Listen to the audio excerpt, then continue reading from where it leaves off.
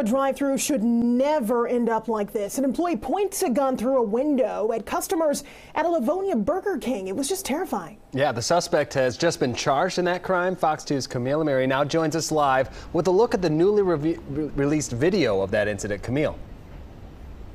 Yeah, David Hillary, this is a crazy story. We're outside the Burger King on Seven Mile in Livonia, and take a look at the drive-through line. So we've been here for a couple of hours, maybe putting the story together. This drive-through line been busy this whole time. Cars lined all the way up. Of course, they're expected to get their Whopper, their fries, maybe the new chicken sandwich. They are not expecting to have a gun pointed at them. Watch carefully. A man working a fast food drive through points a gun out the window at customers.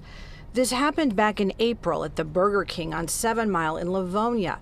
The suspect finally charged this week. Police now releasing the surveillance video of the incident and police body cam video of the arrest. You guys got something nice busted, I'll tell you that. 24 year old Dustin Rocheleau from Garden City now charged on an eight count felony warrant in connection with the April 28th incident.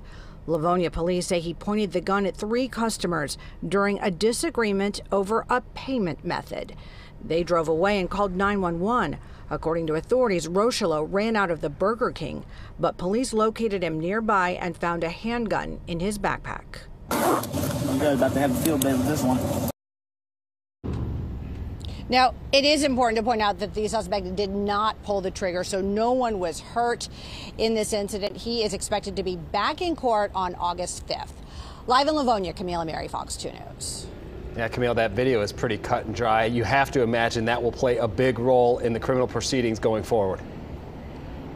Absolutely, absolutely. And, you know, he did not, you know, basically, you, you, see the video, he's very calm with police.